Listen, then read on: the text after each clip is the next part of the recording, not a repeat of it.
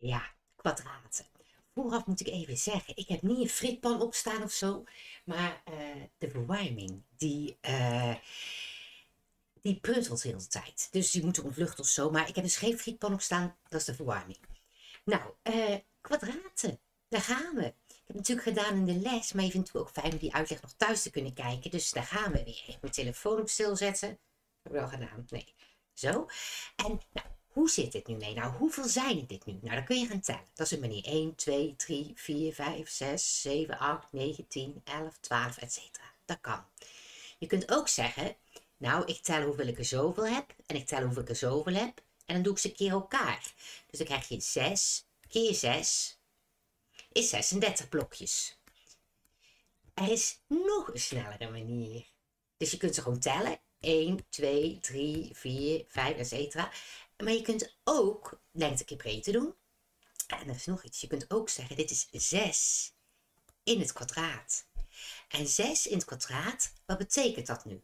Nou, hoe zit het nu met uh, kwadraatjes? 6 in het kwadraat, ik zal het even hier laten zien. 6 in het kwadraat is hetzelfde als 6 keer 6. En misschien heb je dat al een keer gehad op de basisschool.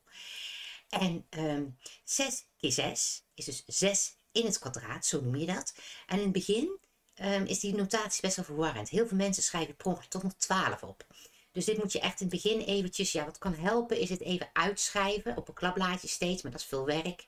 Het is een kwestie van heel goed je huiswerk nakijken en het vaker uit te halen op een gegeven moment train je het wel eruit. Als je er je hoofd erbij hebt, dan lukt het vaak wel. Dus 7 kwadraat, als je dan bedenkt, oh ja, 7 kwadraat, dat is 7 keer 7, dus is 49. En niet 14. En uh, dan moet je, als je hoofd erbij hebt, lukt het vaak wel. Nou, wanneer gaat het nu mis? Het gaat vaak mis als je in een bepaalde snelheid werkt of je krijgt hem in een lange som en je doet het even snel. Dus op het moment dat je het kwadraatje ziet staan, dit noemen we even het kwadraatje, dan moet je het grote getal, en dat, kwadraatje zet je echt in de lucht in klein. Hè? En, um, sorry. En uh, het grote getal moet je dan keer zichzelf doen eigenlijk. Dat betekent 7 kwadraat, dat betekent 7 keer zichzelf. Ofwel 7 twee keer met zichzelf vermenigvuldigd. 1 keer, twee keer. Dat is wat een kwadraatje is. Nou, Wanneer komen nu de kwadraten? Want we hebben natuurlijk altijd rekenvolgorde gehad. Nou, ze komen na de haakjes, maar voor keer en delen. Dit hebben jullie tot nu toe gehad. Je moest eerst de haakjes doen, dan keer en delen, van links naar rechts. Hè. Dus soms eerst delen, soms is keer. Ligt eraan, kom je het eerste tegen. En plus en min, of min en plus, ligt eraan, kom je het eerste tegen. Dat was de volgorde. Ik heb over deze oude stof, ook hoe reken je met minnetjes, en ook met keer en delen, heb ik een uh, nieuw filmpje opgenomen uh, voor de VVV-lessen die ik geef. Als je nu zegt, ja, ik ben vergeten hoe het zat met die rekenvolgorde en met die minnetjes, kan je daar altijd nog eventjes kijken natuurlijk. Ik zal hem ook in de huiswerkbrief zetten. Nou, hoe zit het nu met die kwadraten? Waar zitten nu die kwadraten? Nou, het is, een kwadraat is een soort van keer, maar nog belangrijker. Ja, belangrijk mag ik niet zeggen. Het zit eigenlijk boven de keer en delen. En tussen de haak, en voor en na de haakjes. Want haakjes is het soort zebrapad. Dat krijgt altijd voorrang. Dat gaat altijd voor. Dus daartussen zit het. Dus als we nu gaan kijken, krijgen we nu een volgorde. We krijgen de haakjes, oeps, kwadraten, keer en delen, plus en min. Later ga je leren dat de kwadraat macht is en dat eigenlijk machten staan. Maar voorlopig noem ik het even kwadraten. Weten jullie wat ik bedoel? Dat is een bepaald getal. En waar dan zo'n tweetje in het klein boven staat. En dat betekent dat een getal gewoon een keer zichzelf doet. Maar nu, de notatie, hoe schrijf je het op? We hebben best veel aandacht samen gedaan, besteed aan het opschrijven van rekenvolgordes. En uh, dat heeft, zover ik weet, niemand fout gedaan op de toets. Ik kan me niet herinneren dat fout gedaan. Ik was nog zo onder de indruk. En um, dat is nu jullie voordeel. Want daardoor gaat dit nu een stuk sneller. Je bent namelijk aan die notatie gewend. Hè? Dus hoe schrijf je iets op? Dus je hoeft eigenlijk alleen maar te doen wat je al eerder geleerd hebt. En wat komt er nu bij? Het kwadraatje. Nou, als we nu kijken met de volgorde. Eerst was haakjes. Dan was keer en delen normaal gesproken. En dan was plus en min. En hiertussen zijn dus de kwadraatjes gekomen. Dus dit doet je eerste, dan doe je de kwadraatjes, keer en delen, plus en min. Even kijken hoor.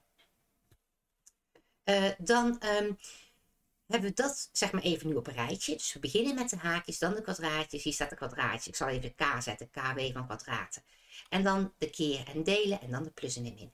Nou, wat doen we nu dus hier? Eerst wat er tussen haakjes staat. Dus wat er tussen haakjes staat gaan we eerst doen. Dit is 3. Oh, dus wel, ja, ik vind het een mooie kleur daar niet van, maar het is even niet, niet zo vrolijk. 3, hij ziet niet zo goed. 3 plus 5 doe als eerst, want dat staat tussen de haakjes. Wordt het nu een negatief getal? Ik vertel het alvast, maar dat is nu niet hoor. Maar wordt het een negatief getal, dan moet je tussen haakjes zetten. Maar dat krijg je later. Nu uh, is dat nog niet nodig, dus de haakjes hoeven nu niet. Nou, je doet eerst wat er tussen de haakjes staat, is 8. En zet je daar een tweetje bij. Dan neem je de rest over. Min 17 plus 8 kwadraat gedeeld door 2 is gelijk aan. Wat ga je nu doen? Nou, ik zie geen keer, uh, ik zie geen keer, ik zie wel delen. Ik zie plus, dit is gewoon negatief getal, hè? plus heb ik staan, maar ik zie ook het kwadraatje. En de eerstvolgende, vol, het eerstvolgende wat je moet doen na de haakjes is kwadraat nemen. Dus we doen nu de 8 in het kwadraat. En 8 in het kwadraat is 8 keer 8, is 8 keer zichzelf. Dus hier krijg je 8 keer 8 eigenlijk. Ga dit nu niet zo opschrijven. Als je dat fijn vindt om op te schrijven, wat ik ook zei, soms helpt om even op te schrijven, doe dat op een klapblaadje. Zet hier wel meteen 64. Je mag best op een klapblaadje even schrijven 8 kwadraat, 8 keer 8. Of alleen 8 keer 8 bijvoorbeeld. Kun je ook doen, hè? Even anders zitten hoor. Zo, sorry. Um, nou, dan gaan we verder.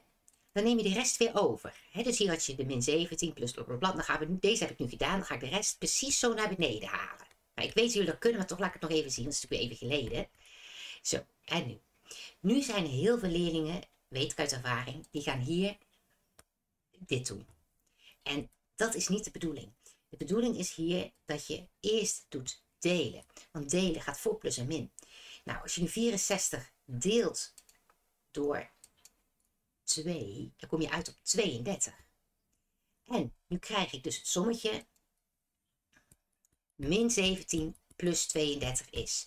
Nou, nu zie ik vaak dat uh, leerlingen hiervan maken min 50. Maar dat is niet goed. En hoe zit dat nu? Nou, kijk, je zit hier op 0. Hier zit je op min 17. Zo, hier zit je op min 17. Nou, dan ga je er 32 omhoog, hè, want je doet plus. Dus je gaat naar de 0 toe. Als je um, plus gaat doen en je zit in het min stukje, ga je omhoog. Dus dit wordt min 17 plus 32. En dan kom je uit, ik heb hier klaarstaan, op 15. Dus wat doe je eerst? Uh, wat doe je eerst? Nou, eerst wat overnemen. Dan de haakjes. Kwadraten heb ik gedaan. En hoe schrijf je dat nu op? Nou, je neemt hem eerst over en dan doe je eerst het stukje wat je weet dat eerst moet. En daarna zet je alles zo precies recht eronder. Dat werkt gewoon het lekkerst en het netst. Um, deze heb ik laten zien. Ja. Nou, nu is er een ander filmpje als je wil weten hoe zit met de kwadraatjes met de minnen. Want ik denk dat een aantal de kwadraatjes wel kunnen volgen. Maar dat ze zitten met hoe zit dat nu met die midden en in het kwadraat. Dat is een apart filmpje. Bedankt voor het kijken en tot het volgende filmpje. Doei!